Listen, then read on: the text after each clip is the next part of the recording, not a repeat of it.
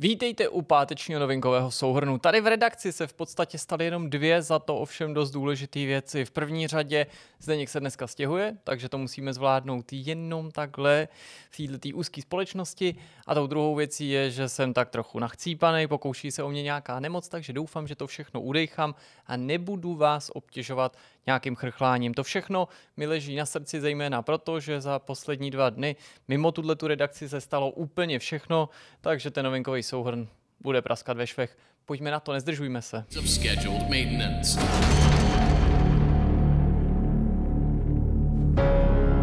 Freddy Fazbear's Mega Pizzaplex is now closed, initiating nighttime protocols. No, no! Wait, I'm still Začneme tím, co se nám už do toho posledního novinkového souhrnu nevešlo a vejít nemohlo, protože to byla akce State of Play, která připadala na středeční večer či noc, chcete-li. Ta se uskutečnila až poté, co ten poslední novinkový souhrn pochopitelně byl už dávno natočený a taky poté, co jsme natočili vidcast, který vy uvidíte v pondělí. Pochopitelně, jako vždycky, i když tentokrát jsme tuhle tu show nepřenášeli s českým komentářem, vás ale neochudíme o rekapitulaci. State of Play se v podání Sony v tomto případě zaměřila na hry, které nevznikají přímo v Sony, nejsou to first party tituly, nemusí to být ani exkluzivní hry, jsou to prostě tituly, na kterých pracují jiní vývojáři a vydavatelé a nezávislí studia, ale jsou to všechno hry, které by v dohledné době měly zamířit na konzole PlayStation 4 i PlayStation 5. No a teď nás čeká taková ta klasická rekapitulace, jak jste na to od nás zvyklí, ačkoliv solo podání. Ta prezentace měla přibližně 20 minut a na tohle tu stopáž toho vlastně přinesla poměrně dost. Jednotlivý kousky si taky můžete připomenout pochopitelně v kompletním záznamu anebo v krátkém sestřihu přímo od Sony, pokud byste měli naspěch. Teď už se ale nezdržujeme a pojďme se pustit do první hry, kterou bylo oznámení nového titulu Deadwares Let It Die, což je nová, uh, nově oznámená multiplayerová akce, která míří na konzole PS4 i PS5. Vít by měla už na jaře příštího roku a má se jednat o nějakou vražednou televizní show, která navazuje, jak už její podtitul napovídá, na Lady Die od Guichiho Sudy a studia Grasshopper Manufacturer. Ten ovšem, Suda 51, zdá se, že s touhletou novinkou nemá nic společného. Má se jednat o variaci na Battle Royale, která vzniká ve studiu Super Trick Games, který konec konců už pomáhalo s původním titulem Lady Die, jehož duchovním nástupcem by Deathverse mělo být. Na další podrobnosti si ovšem musíme počkat.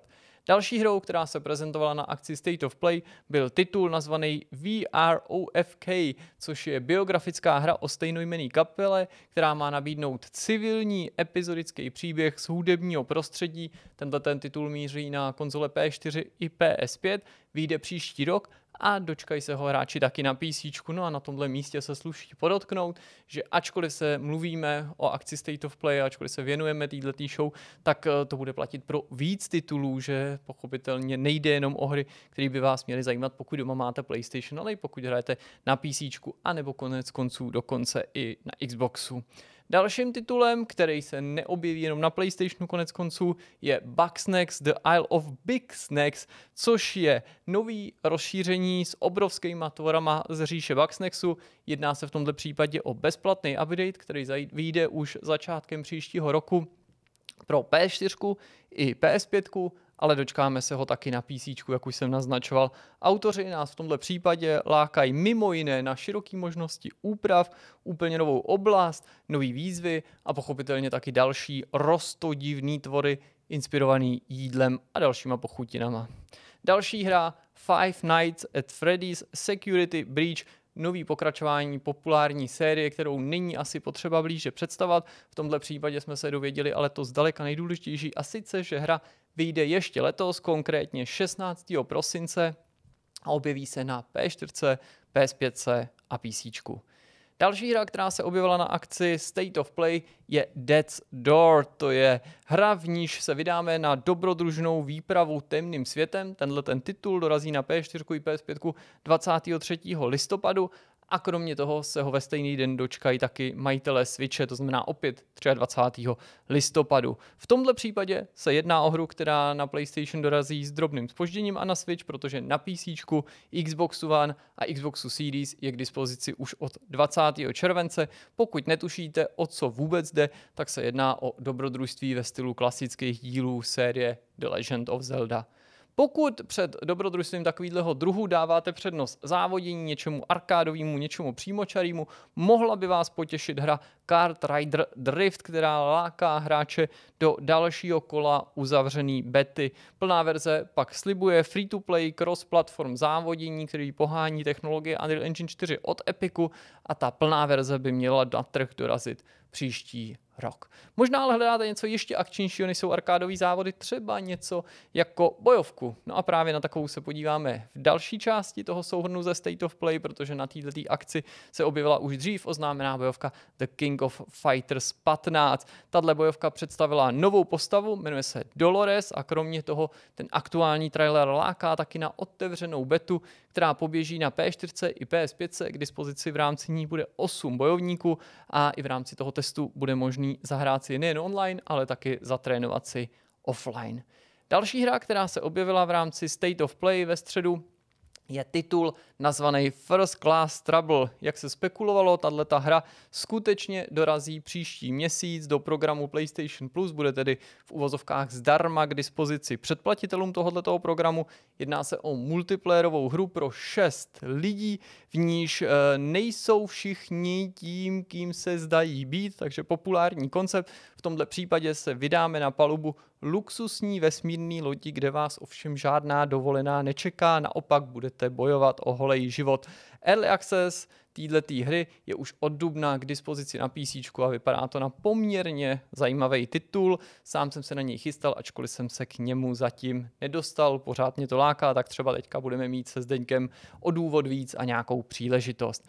Další titul, který byl tentokrát oznámený a představený v rámci State of Play, je Star Ocean The Divine Force. Série Star Ocean jako taková slaví 25. výročí a společnosti Square Enix a studio Tri-Ace při této příležitosti láká fanoušky na nový RPGčko z této ságy. Podle autorů se máme těšit na mix sci-fi a fantasy, spoustu hratelných postav, vedlejší příběhy i unikátní soubový systém. Vývojáři slibují velkou svobodu a příběh, který se bude větvit na základě našich akcí. Tenhle titul by měl dorazit na trh příští rok a kromě toho, že se objeví na PS4 a PS5, bude k dispozici vlastně na všech ostatních platformách s výjimkou Switche, to znamená na PC, Xboxu One i Xboxu Series, takže na těch dominantních herních zařízení. No a poslední hra, která v rámci State of Play stála za pozornost těch hlavních bloků, je Little Devil Inside. To je hra, která byla představená už dřív, vzbudila poměrně velkou pozornost, nejdřív takovou vítanou, pak trochu nechtěnou, ale v každém případě tato hra se po delším čase znovu připomněla fanouškům, ukázala se hráčům a dočkali jsme se nového traileru na tenhle titul od studia Neostream, který je stylizovaný do podoby takového viktoriánského dobrodružství. Tahle hra se prezentovala skoro pětiminutovým komplexním videem a myslím si, vzhledem k tomu, jak je dlouhý a jak důležitá je právě podoba této hry, že je mnohem lepší se na Little Devil Inside podívat a zaposlouchat se do toho původního zvuku toho samotného traileru, než si o něm jenom povídat. Tolik novinky z akce State of Play, no a teď už se vrhneme na další část těchto těch aktualit. A jako první věc si vezmeme něco, co sice PlayStationu se vůbec netýká, ale zajímavý je to minimálně stejně jako ten předchozí blok, protože oficiálně byla oznámená VR verze hry Grand Theft Auto San Andreas. Oculus oznámil, že jeho standalone headset Oculus Quest 2 Eh, přivítá právě VR verzi GTA San Andreas od Rockstaru. Ten projekt je ve vývoji údajně už mnoho let. Autoři podle svých slov se nemůžou dočkat, až nám z ní ukáží víc. Zatím ale bohužel na nás podrobnostma šetří a musíme se spokojit jen s několika málo náznaky. Jedná se pochopitelně o další připomínku těch aktuálních oslav, v rámci nichž na trh míří i definitivní edice her GTA 3, Vice City a právě San Andreas pro všechny možné platformy. Série Grand Theft Auto se vůbec poprvé oficiálně, a to je důležitý, v tomhle případě ponoří do vod virtuální reality. Pro Rockstar jako takový, ale nejde o úplnou novinku premiéru ve VR světě, protože VR péče se už dřív dočkala i open world historická detektivka LA Noir. Bohužel datum vydání San Andreas VR v tuhle chvíli neznáme, spekuluje se ovšem, že by grafika mohla projít podobnou péčí jako remaster v rámci té zmíněné definitivní edice. Jistý to samozřejmě není, žádný takový ujištění nepadlo, ale dávalo by to smysl. Může ovšem na druhé straně tato verze vznikat v jiném studiu eh, odděleně od té definitivní verze může vypadat líp, ale nemusí vypadat úplně stejně. Uvidíme, musíme se nechat překvapit. Samotný Mark Zuckerberg při této příležitosti nazval San Andreas jednou z nejlepších her, jaká kdy byla vytvořena. Slibuje, že VR verze má hráčům nabídnout úplně nový způsob, jak si užijou tenhle ten ikonický otevřený svět. Samozřejmě ještě jednou se sluší na tomto místě zdůraznit, že fanoušci s virtuální realitou v rámci série GTA experimentovali už dřív a pochopitelně je celkem logický ptát se nejen proč právě San Andreas, ale zda v souvislosti s tou definitivní edicí a dalšíma vylepšenýma dílama můžeme tedy doufat, že by v budoucnu v případě úspěchu San Andreas VR mohlo dojít třeba právě i na návštěvu GTA 3 a Vice City v podání virtuální reality. Závěrem této novinky můžeme jenom připomenout, že se jedná o po Resident Evil 4 ve VR verzi o další poměrně zajímavý klasický úlovek nějaký slavný značky, která je, respektive v tomto případě bude k dispozici na standalone headsetu Oculus Quest 2. Teď už ale utečeme zase k další společnosti, vydáme se do multiplatformních vod a povídat si budeme o společnosti Ubisoft, protože tenhle ten francouzský gigant odkládá hned několik her a jejich vydání se nám tak vzdaluje. Týká se to Prince, The Division Heartland a taky hry Rocksmith 3. Společnost Ubisoft oznámila, že odloží několik her na pozdější termín. Jsou to rovnou tři tituly, které původně byly už skoro na dohled, nebo jsme si to alespoň mysleli, nakonec ale dorazí až v dalším fiskálním roce, tedy období, který končí až v závěru března 2023. Jak už bylo řečeno, jedná se o hry Tom Clancy's The Division Heartland, Prince of Persia, Sense of Time Remake a výukový kytarový trenažér Rocksmith Plus. V případě vylepšeného Prince z Persie ani Rocksmith Plus navíc nejde o první odklad. Ve všech třech případech se ale mělo za to, že ty hry jsou mnohem blíž. Rocksmith 3 byl oznámený konec konců v červnu 2021 s tím, že původně měl výjít ještě letos. V létě měly probíhat i nějaký testy, původně jsme do něj byli pozvaní, pak některé ty kola ani neproběhly, tak uvidíme. Eh, samotný by nás zajímalo, co se tam vlastně děje. Free-to-play spin-off The Division s podtitulem Heartland byl pak oficiálně představený taky letos a Ubisoft původně při jeho oznámení mluvil o tom, že by mohl být letos nebo příští rok, což si všeobecně fanoušci vykládali jako něco ve smyslu, vyjde to někdy na přelomu roku, jak se ale zdá, ani v tomhle případě to neklapne.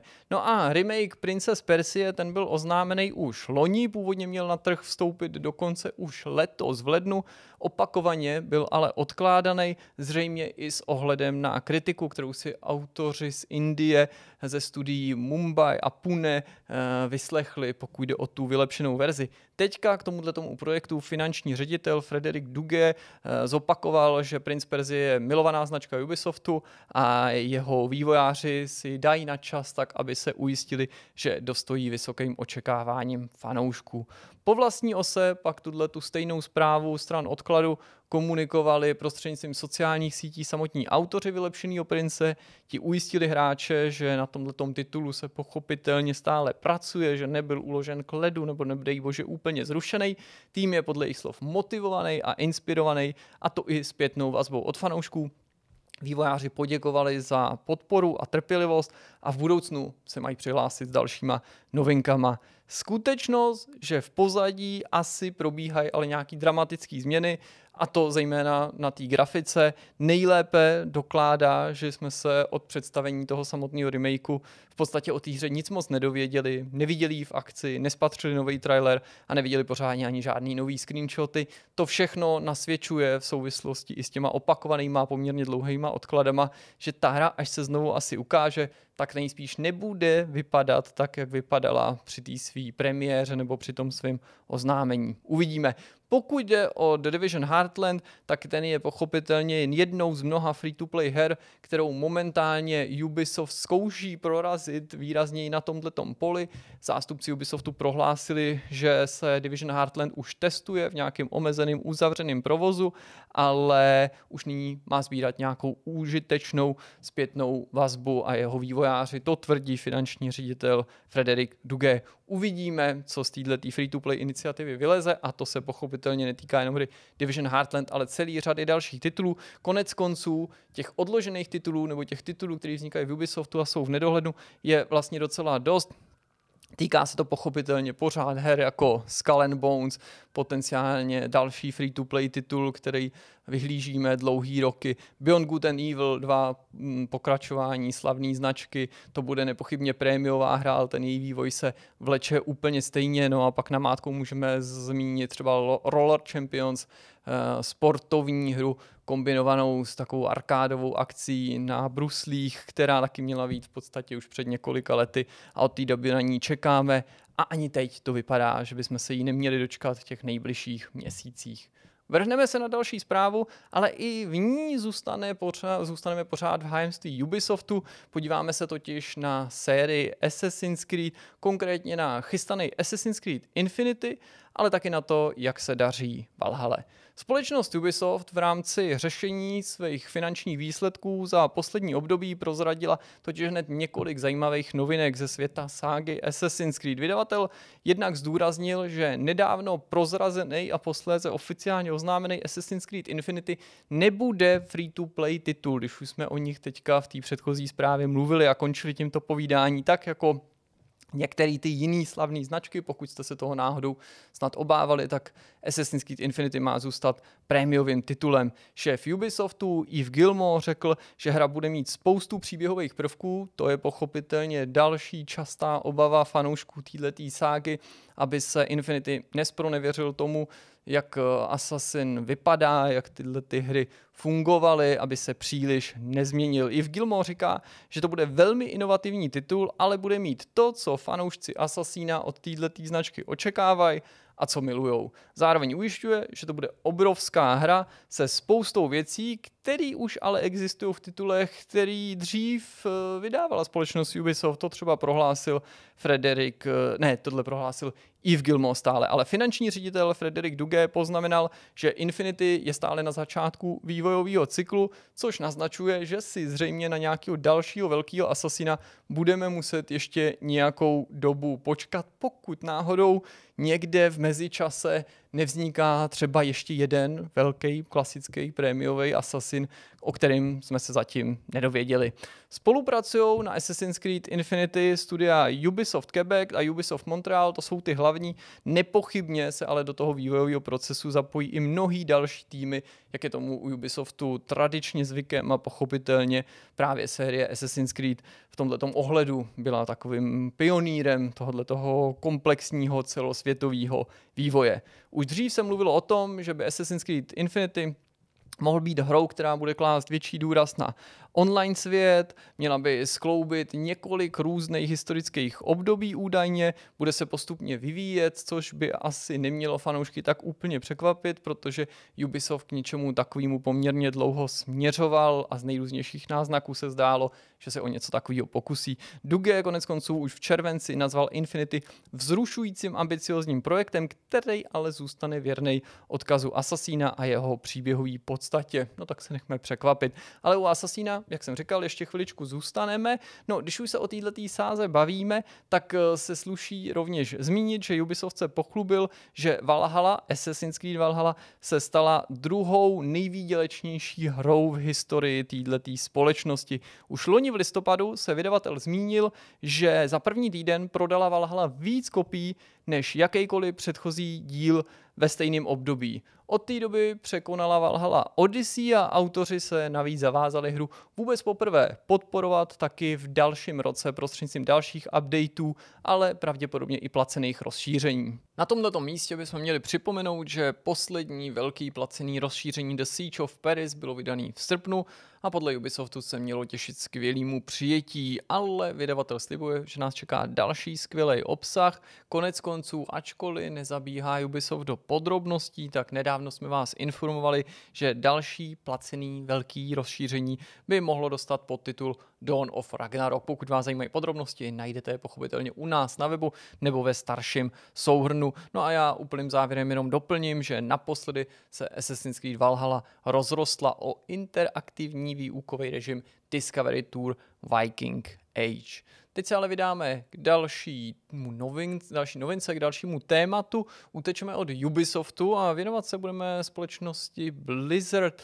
Tentokrát nikoli v souvislosti s žádnýma nepříjemnýma kauzama a obviněníma, přesto v souvislosti s aktualitou, která řadě fanoušků radost udělat nemusí a konec konců ani zaměstnanců. Spekuluje se totiž, že Blizzard má přejmenovat svoje studio Vicarious Visions.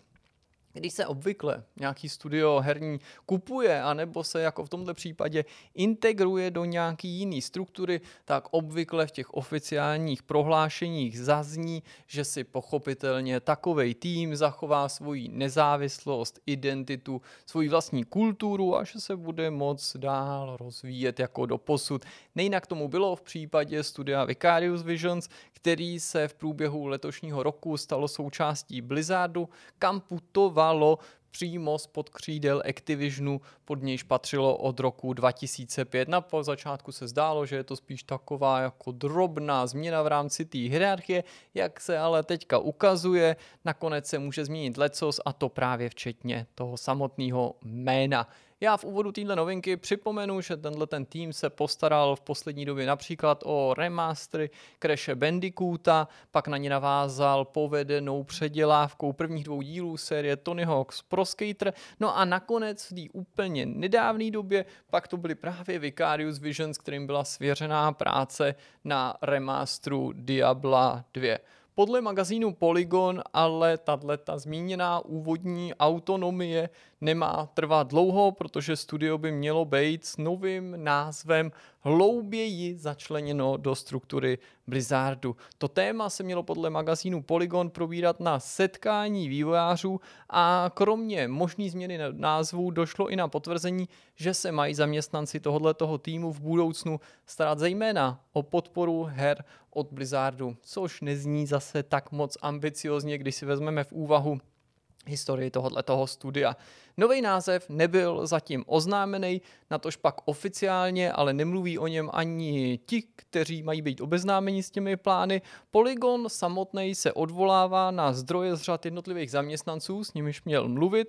Někteří pak spekulují, že by se studio mohlo jmenovat jednoduše Blizzard Albany podle místa, kde tohleto studio sídlí a působí, což by nebylo pro společnost Blizzard vlastně nic nového, protože podobným způsobem identifikuje identifikuje svý jednotlivý týmy, jako například Blizzard Austin, který sídlí v Texasu.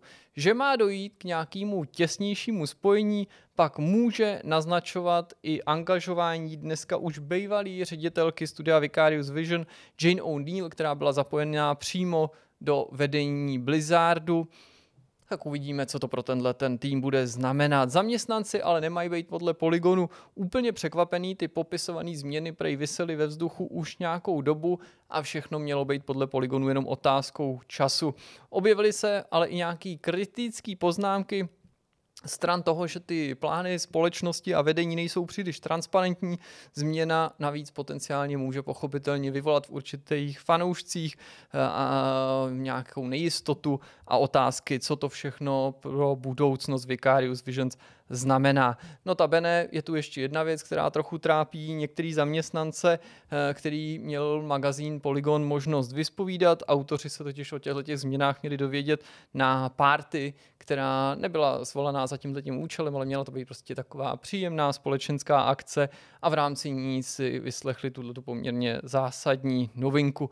Zaměstnanci Vicarious Visions ale neočekávají podle Polygonu, že by ve skutečnosti mělo dojít k nějakým zásadním změnám ve fungování studia tak uvidíme. Studio Vicarious Visions bylo založený před 30 lety, jeho zakladatelé, ti původní, teďka vedou jiný studio, Velan, tým Vicarious Visions prodali Activisionu v roce 2015 a ze společnosti pak o rok později odešli. Pokud vás zajímají další podrobnosti, najdete je pochopitelně u nás na webu, včetně nějakých starších článků, který se tomuhle tomu týmu a jeho práci věnují.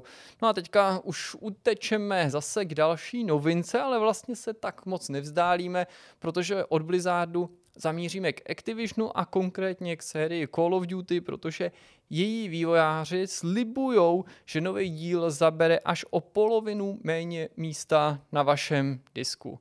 Velikost Call of Duty se nám stalo už takovým running jokem, takovým tématem, se kterého si hráči utahují protože je to prostě macek, který bobtná, zdá se skoro s každým dílem, zejména pokud si rozhodnete nainstalovat eh, všechny třeba dodateční textury ve vyšší kvalitě, pokud se chystáte hrát i kampaně, opakovaně se k ní vracet i kompetitivní multiplayer a pokud se opakovaně třeba vracíte do Warzone, tak prostě s tou masivní velikostí musíte počítat a pravděpodobně s těma ostatníma hrama třeba pokud nemáte to největší úložiště, můžete tak trochu zápasit. Vedle toho, že si z toho ale hráči utahují, se ukazuje, že to je skutečný problém a tak se Activision rozhodl sešlápnout brzdu a slibuje, že tenhle ten problém s příchodem Call of Duty Vanguard vyřeší, anebo těmu řešení alespoň půjde trošičku naproti, protože, jak jsem říkal na začátku, hra by měla zabrat až o 50% méně místa na vašem disku. A tím řešením nemá být nijak poznamenaná kvalita grafiky nebo zvuku, ale prostředkem toho řešení má být nasazení nějakého nového systému pro streamování textur. Velikost by pak měla být konkrétně v závislosti samozřejmě na dané hře a platformě o 30 až 50% menší, ale týkat pozor se to bude jenom PC a konzolí nové generace. Ten příspěvek, který tomuhle tomu problému autoři věnují, nijak nezmiňuje staré konzole a zdá se, že prostě na těch se ta úspora pravděpodobně neprojeví. Načítání kvalitnějších textur z internetu na místa, které jsou právě v tu chvíli potřeba a využívaný, to je ten prostředek, kterým se má ušetřit místo permanentně využívaný pro, pro pro hry ze série Call of Duty a je to taky systém, který už nějakou dobu využívá Warzone. Instalátor by pak po vzoru těch předchozích let měl nabízout, nabízet e, stáhnutí separátně balíků s HD texturama a v případě, že jej nestáhnete, pak si budete moci přepnout nějaký zvláštní tlačítko právě pro to streamování textur v menu, v nastavení byste ten přepínač, ten volič měli najít, pokud pochopitelně toužíte potom, abyste dosáhli na ty, nebo viděli ty textury v té nejvyšší možné kvalitě.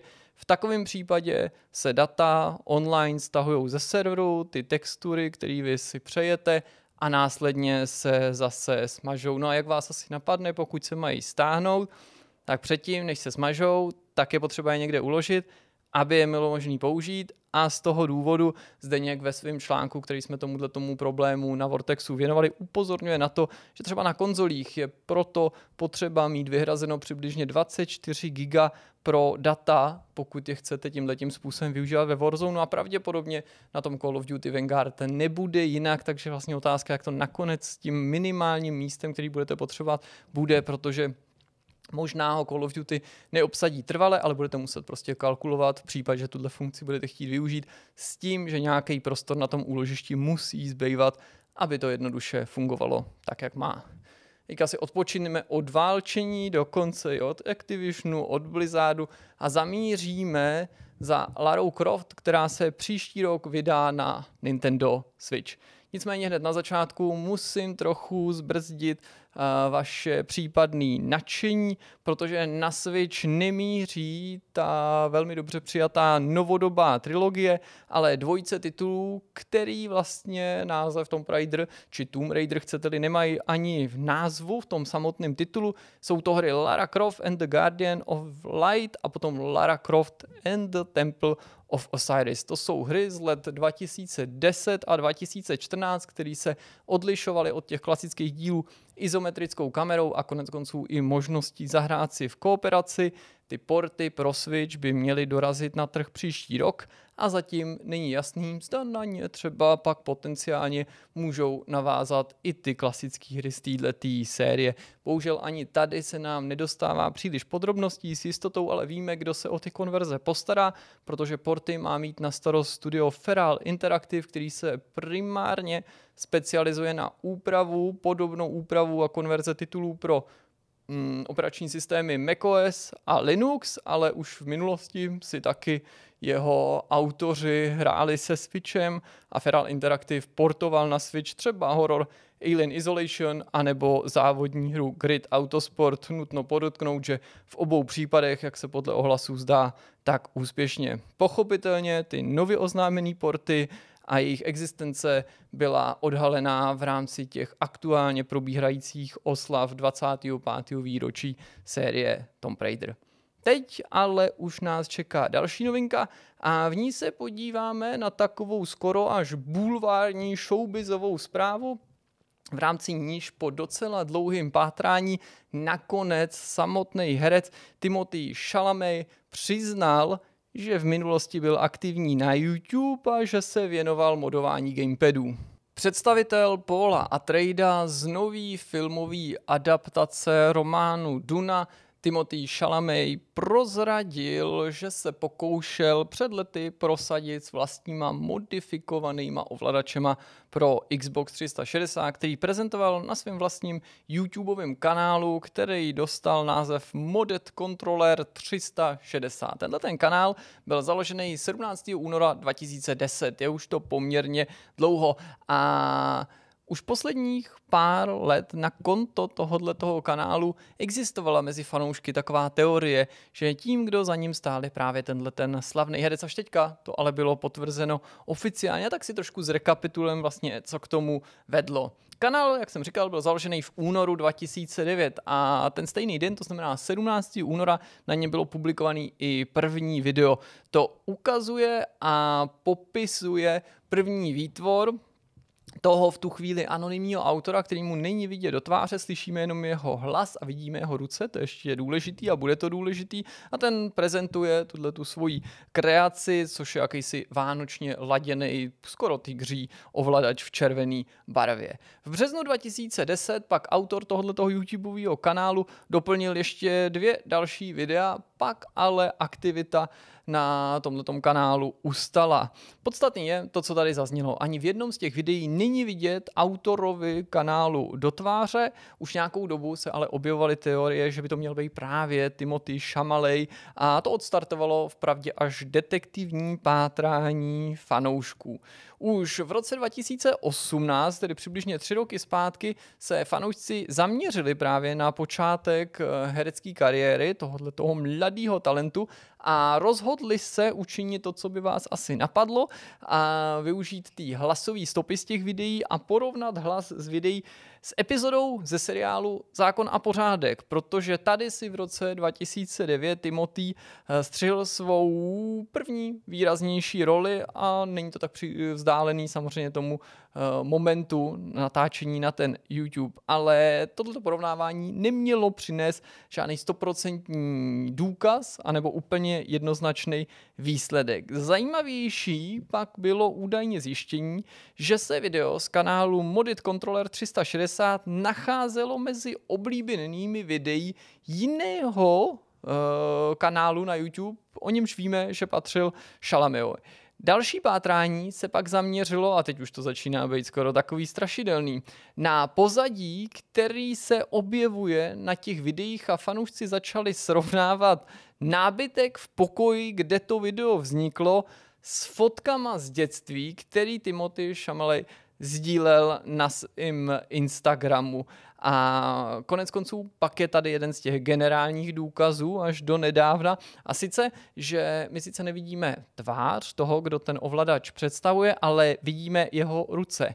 A na jednom z prstů se objevuje jizva, která se s tou jizvou, kterou má herec na prstě na stejném místě, shodovala. No, týhle tý kovbojce, detektivce, nazvěte to jak chcete, učinil nakonec přítrž samotný Šamalej, který v rozhovoru s youtuberem Natem Hillem potvrdil to, co už si fanoušci mysleli, a sice, že je to skutečně on.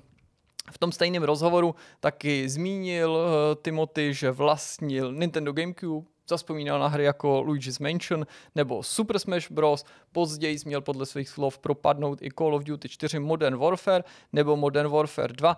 No a pochlubil se, že před lety vzal si právě do parády tyhle ty tři ovladače pro Xbox 360. Pokud by vás zajímalo, jak ta jeho kariéra eh, modera takového příslušenství byla úspěšná, pak by vám mohlo potenciálně udělat radost, že všechny tři upravené ovladače se mu povedlo prodat, eh, účtoval si za ně astronomických 10 dolarů. Tenhle ten rozjíždící biznis mu ovšem měli brzo zarazit rodiče, kterým se údajně nelíbilo, že doma sprejuje.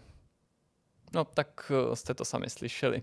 Dobrá, tak to byly ty hlavní zprávy z uplynulých dvou dní, takový ty rozsahem větší, ale to neznamená nutně zajímavější než ty kratší a právě na takový ty telegrafičtější novinky se přesuneme teď a začneme s chodou okolností tam, kde jsme před chvílí skončili, protože i v případě těch telegrafických zpráv tady máme jednu novinku ze série Tomb Raider. Jak už určitě víte, nějakou dobu vzniká nový anime inspirovaný dobrodružstvíma této sliční archeoložky Larry Croft. To anime budou dávat na Netflixu a tahle ta společnost pochopitelně má v tom projektu prsty. Teď jsme se dověděli krátkou, ale za to poměrně důležitou informaci a sice, že tenhle ten seriál si klade za cíl nějak příběhově smysluplně propojit původní sérii Tomb Raider s těma novodobýma dílama, to znamená s tou novou restartovanou trilogií, která začala takovým tím rebootem z roku 2013. To je poměrně zajímavá zpráva už proto, že údajně o to samý by se měla pokusit ta nově chystaná hra, o níž tak polooficiálně víme, že vzniká, ačkoliv nebyla oficiálně zatím představená, ale i v souvislosti s tím 25. výročí se o ní už několikrát mluvilo. V zásadě ale to asi se nijak nevylučuje, pokud se o to má pokusit videohra, proč by se o to nemohl pokusit seriál. Nakonec ale nezávidím asi ani jedním autorům těchto těch projektů, protože si myslím, že v obou případech to vlastně každopádně bude docela oříšek.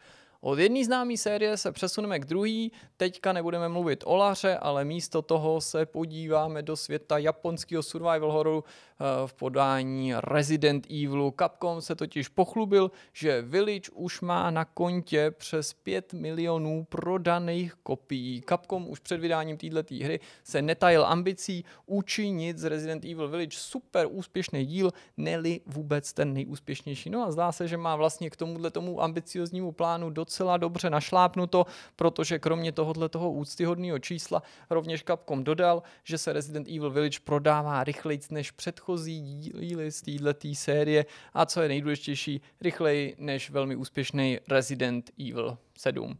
Tolik Resident Evilu. No a teď se podíváme zase pro změnu do světa GTAčka, protože i tady se nám potenciálně schyluje k velice zajímavým novinkám, který se, jak už to tak občas v podobných případech bývá, dostávají do světa často cestou, která je vlastně taková poměrně nezvyklá a jak už se to několikrát v minulosti stalo, i tady zdá se, že si nějaká osobnost, eh, primárně mimoherní průmysl, pustila pusu na špacír, protože Snoop Dogg prohlásil, že Dr. Dre má dělat hudbu pro nějaký nový GTA. Snoop navíc možná na tomto projektu spolupracuje. Naznačil to v podcastu magazínu Rolling Stone s tím, že ovšem není tak úplně zatím jasný, jaký GTAčko tím vlastně Snoop Dogg mohl myslet, protože Čistě teoreticky, ano, by to mohl být úplně nový díl ale stejně tak by se třeba mohlo jednat o nějaký rozšíření pro GTA Online, protože už v minulosti jsme se dočkali toho, že se GTAčko rozrostlo o nějakou novou hudbu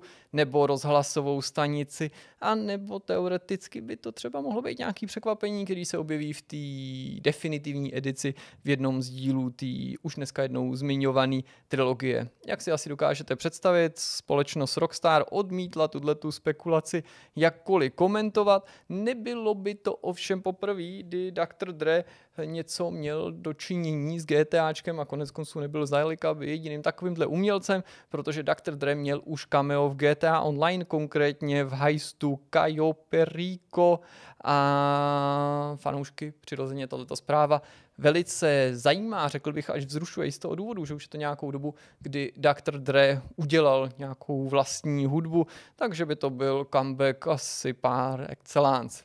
Pojďme ještě na krátký moment stavit se u Activisionu a konkrétně u série Call of Duty. Povídat si budeme o Warzone. Jeho vývojáři se totiž pochlubili, že nová mapa zasazená do Pacifiku, která se jmenuje Caldera, vyjde už 2. prosince.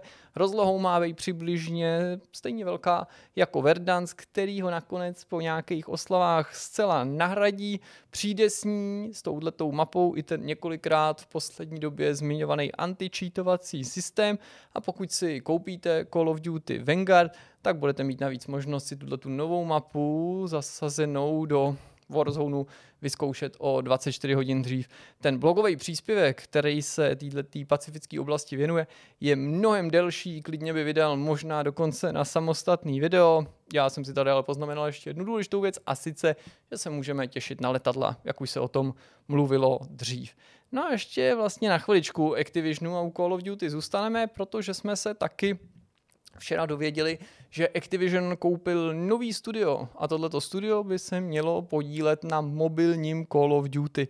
Tím týmem je společnost Digital Legends, která sídlí v Barceloně a přidá se k trojici jiných studií, kteří už v tuhle chvíli na mobilním Call of Duty dělají. To je jednak vlastní interní tým nazvaný Solid State, který za tímhletím účelem Activision před časem založil a pak jsou to taky týmy Beanox, to je pochopitelně tradiční součást Activisionu, která se podílela v posledních letech na Let's Champs a pak ještě studio Activision Shanghai. Teď už ale dost o Call of Duty a podíváme se na jinou hru, která je vlastně spíš blíž sportu, ale i poměrně akčnímu, takže neutečeme tak daleko. Tím titulem je Knockout City, jehož vývojáři prozradili, že se majitelé konzolí PlayStation 5 a Xbox Series dočkají už příští týden upgradeu, který vytáhne z těchto těch systémů to nejlepší. Když jsem řekl příští týden, měl bych dodat, že konkrétně se tak stane 2. listopadu a autoři slibují stabilnější a větší framerate, vyšší rozlišení, detailnější textury nebo například lepší nasvícení. O Blizzardu už byla řeč, teď se ale aspoň v krátkosti u něj ještě jednou zastavíme a řeč bude o hře Diablo Immortal, pokud tuhle tu mobilní verzi Diabla vyhlížíte, pak by vás mohla zajímat zpráva, že uzavřená beta odstartovala v Kanadě a v Austrálii. Ten start připadal na včerejšek, na 28. října a později by se ta stejná uzavřená beta měla rozeběhnout taky v Jižní Koreji, v Japonsku a v Číně. Hra je momentálně v rámci toho testu k dispozici na Androidu a její autoři upozorňují, že vůbec poprvé v rámci této uzavřené bety, na rozdíl od předchozích alfa verzí, už budou fungovat in-game nákupy, takže už si vývojáři začínají testovat, jak vlastně hráči za co a jakým způsobem budou v této hře utrácet. Několikrát jsem v rámci tohoto novinkového souhrnu zmínil Call of Duty, tak by asi bylo nespravedlivý neříct něco málo taky o chystaném Battlefieldu 2042. Jeho autoři z DICE se pochlubili novým videem, který primárně ukazuje trojici nových map. Jsou to mapy Renewal, která je zasazená do egyptské pouště, pak Breakaway, která nás vezme na Antarktidu a Discarded, v níž se vydáme do Indie. Autoři pak zdůrazňují, že celkem se můžeme při launchi Battlefieldu 2042 těšit na sedm map, ty další pak pochopitelně budou přicházet prostřednictvím updateů a nepochybně jich nakonec bude mnohem víc.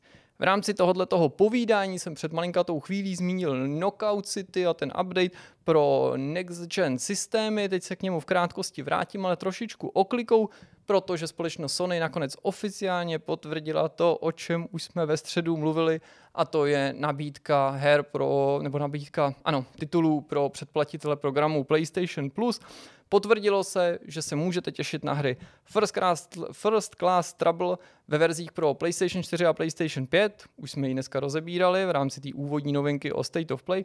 Pak je to Kingdoms of Amalul Re-Reckoning ve verzi pro PlayStation 4 a právě konec konců to Knockout City, opět nejen ve verzi pro PS4, ale i v nativní verzi pro PlayStation 5. A jak už vás Deněk upozorňoval, v rámci oslav pátého výročí PlayStation VR, nebo pěti let, lépe řečeno, který uplynuli od vstupu PSVR na trh, budou k dispozici i speciální dárečky pro majitele tohoto headsetu, to znamená tři hry, co by bonus, a to jsou tituly The Persistence, The Walking Dead, Saints and Sinners a Until You Fall.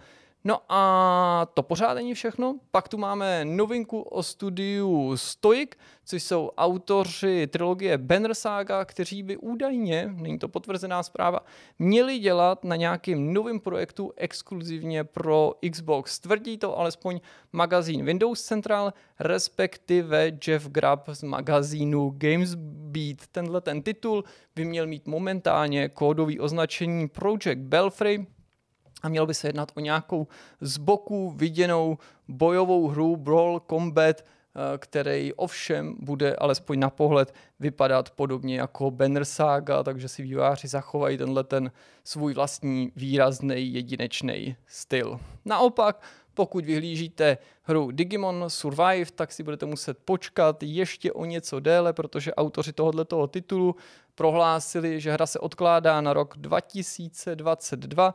Je to už třetí odklad. Původně Digimon Survive měl vyjít už v roce 2019, takže ty odklady jsou skutečně poměrně bolestivý. Výváři poděkovali fanouškům za trpělivost, tak jak je v těchto těch případech obvyklý, tak eh, oznámili nebo prozradili, že to pro ně samozřejmě bylo velmi těžké rozhodnutí, ale kvalita a výsledek je pro ně na prvním místě a proto nechtěli nic obětovat a musel přijít odklad. Sony se pochlubila, že PlayStation 5 už má na kontě skoro 13,5 milionů prodaných kusů této nové konzole, a to navzdory tomu, že samotný systém pořád bohužel patří mezi nedostatkový zboží. A pokud naopak vás PlayStation a hraní v podání Sony zajímá jen v případě, že se mluví o hrách pro PC, pak by vás mohla zaujmout informace, že Sony ustanovila nový label, který nazvala velice prozaicky PlayStation PC, což naznačuje, že to skutečně i do budoucna asi Sony myslí s těma konverzema a portama svých exkluzivních, nebo lépe řečeno původně exkluzivních titulů na konzoli, ale posléze mířící na Windows vážně. No a pak tady máme dvě informace na závěr, které se týkají demoverzí. Ta první demoverze je úplně klasickou demoverzí v pravém slova smyslu. Týká se hry Metroid Dread, který si můžete vyzkoušet v rámci demoverze zdarma. Jedná se o takový malý překvapení a zároveň tak trochu dárek od Nintendo k nadcházejícímu Halloweenu. No a i Google to zkouší s demoverzema, i když trošku atypickýma a snaží se přilákat hráče ke své službě, ale potažmu i ke svým titulům a to prostřednictvím 30-minutového bezplatného dema, nebo možná lépe řečeno trial verze, konkrétně s touhletou novinkou Google experimentuje u hry nazvaný Hello Engineer, což je exkluzivka, která je k dispozici jenom a právě na Stadia. No a tím jsme se ocitli na úplném závěru tohoto novinkového souhrnu. Mě sice trošku krá- trápil ten kašel a takový jako drobný sípání, vy jste to snad se mnou ale vydrželi nakonec, tak vám poděkuju za pozornost a samozřejmě vás nalákám na to, že ačkoliv o víkendu nejspíš žádný video nevyjde, tak samozřejmě i na webu se objeví nějaký články, no a na příští týden to zase chystáme měrou vrchovatou. Tak se mějte hezky a brzy na viděnou.